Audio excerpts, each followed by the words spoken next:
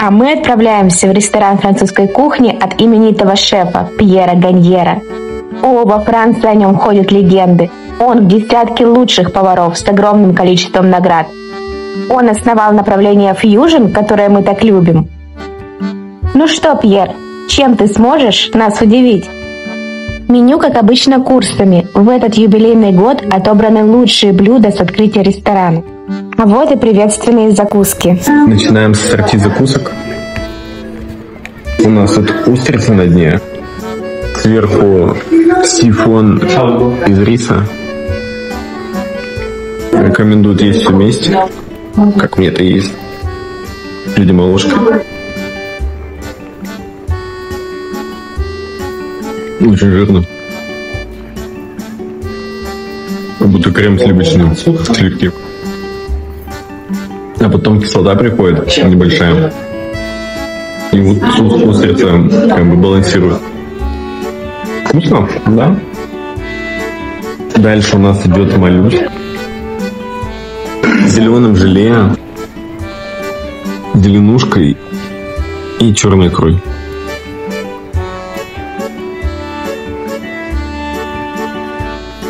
Вот тут уже интереснее вкус пошел. Кремовая текстура меняется небольшой плотностью моллюска. Но тоже уж больно как легко залетает, как йогурт жирный. Идем дальше. Тут у нас пирог с сыром и фиником.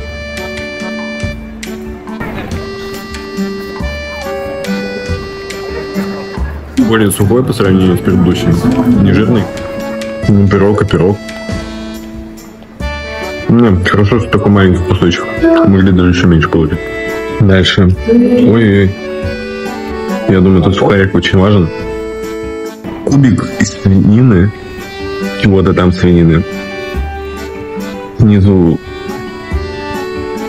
я вижу как будто бы дижонская горчица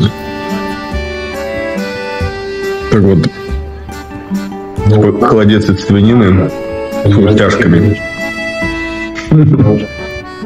Дальше. Что это такое? Я не запомнил. Я вижу только золото. Это что-то типа профитролю.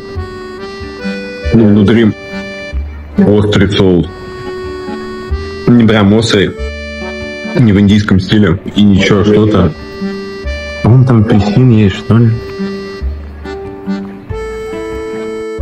Будто бы подтаявший фруктовый лед э, фруктами, частичками цукатов. И все это в алкоголе. Похоже на сливовое вино. Ликерчик такой. Вот, вот тут порадовали. Вот и традиционная хлебная тарелка. Но, признаться, в этот раз как-то бедно. И масло всего один тип. Простой. Могли бы еще купить там зеленое, красное принести. Наконец-то нам принесли первый курс. Тартар из лангустинов с тремя чипсами. Батат, что-то еще. Кориандр еще. Тут еще гранат есть. Прям чувствуешь, как семечки жуешь. Тут уже что-то вкусное начинается. Не припомню даже гранат в тартаре до этого. М-м. И кориандр играет. Классное сочетание. Второе блюдо. Снизу у нас желе из цветной капусты. Сверху треска. Видимо, какая-то подкопченая. Ну и черная икра.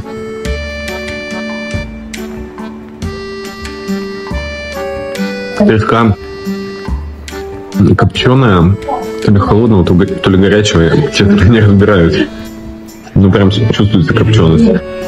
А вот это, этот мусс, ну, опять очень жирный, прям очень жирный. Его нельзя всего есть, он буквально чуть-чуть зачерпнуть с икрой. И вообще его лучше зачерпать. Дальше у нас четыре вида моллюсков. Черная икра, конечно же. Зеленушка. Кстати, из моллюсков я вижу. Мидия есть. Хлебец с чуризо. И пармезаном, видимо. Опять надо все вместе. Ладно, вот я захвачу мидию и с черной икрой.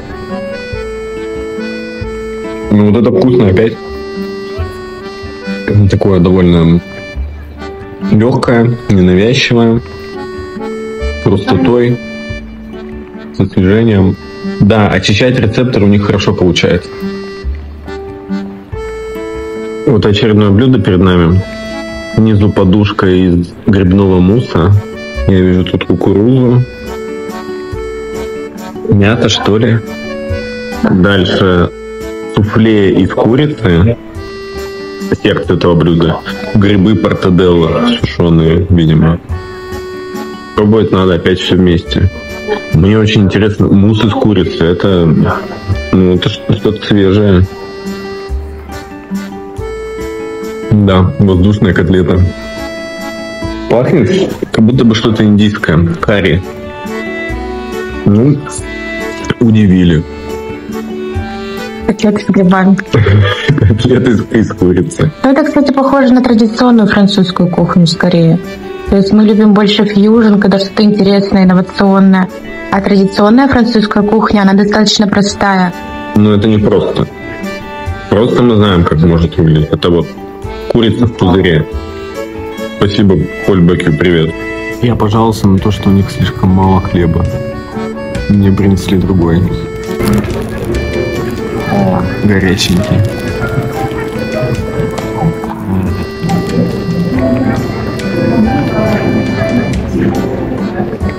Свежеиспеченный. Хрустит.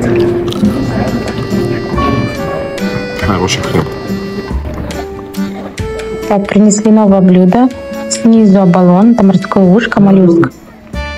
А сверху крамбл из овощей. Крамбл просто бушка. Вкусно, вот наконец-то что-то интересное.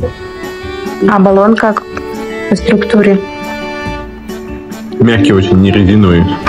Как на улице делают.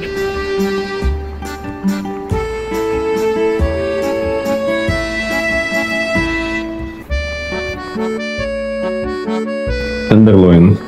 Корейский. Два плюса. Это самый крутой у них считается.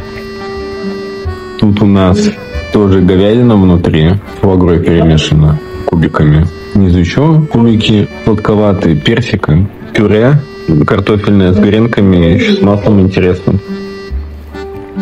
Куда без черной икры? Этот хруст. Вроде и средняя прожарка. А сока не видно. По-моему, не сочный. Да, поэтому куча соусов, чтобы скрасить наше горе. И корку. М-м, соленая какая. По вкусу, кстати, еще с горчинкой. Да, икра тоже как-то не впечатляет сама по себе. Бывает прям вкусно ешь. А вот это такая как, как горбуша в мире лосося. Ну и наконец, что-то тут для освежения рецепторов. Фуагрой. Люблю очень фуагру. Люблю фуагру и могу ее почувствовать. Но не здесь. Что-то сложно жующийся. Типа мешочек с тартаром. Так, суфле с ванильным мороженым. Суфле это, оказывается, с мороженым. То ли я расстроен, то ли это хрень какая-то. Ну, суфле сладкое. Дальше-то что? Никакой изюминки. Я люблю, когда там какая-нибудь кислота играет, а не так, что прям вот лютая сладость на сладость. Ну, что сказать. Все оказалось очень посредственно, недостойно мишленовской звезды. Да, некоторые блюда были неплохими, но в целом, если смотреть по ингредиентам, икра слабая, немного горчила, так себе. Фуагру я просил пожарить, не пожарили, сказали, извините, у нас фуагра недостаточного качества, чтобы ее жарить.